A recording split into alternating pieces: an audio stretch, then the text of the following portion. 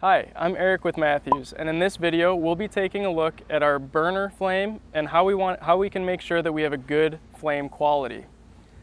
When you look in a viewport and look at the flame that your burner's producing, we expect to see a mostly blue, maybe with yellow tips flame. But if you see a big yellow flame, something's not right with your burner or with your airflow. So if you look at your burner and you see a big yellow flame, the first thing we'll want to make sure is that you have good airflow making it to the burner. You'll take a full load reading of your fan motor and make sure it's pulling what you expect.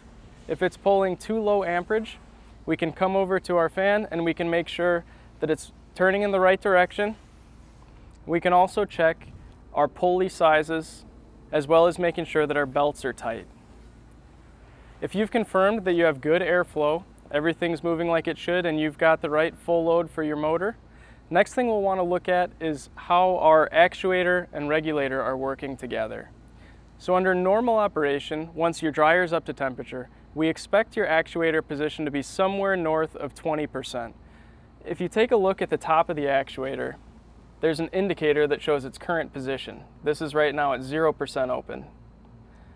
Once our dryer is up to heat, we should see it somewhere closer to 30%, definitely above 20%.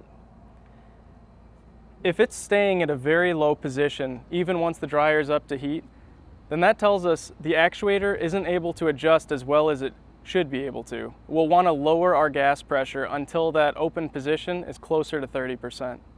So we'll adjust our regulator, reducing the pressure to allow our actuator to open further.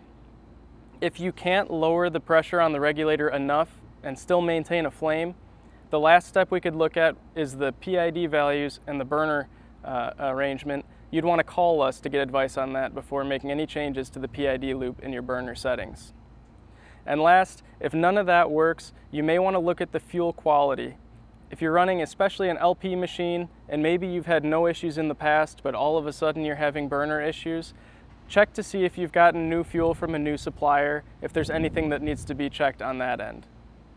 So I hope this video has been helpful. Hopefully you can have a good blue flame and we'll see you in the next video.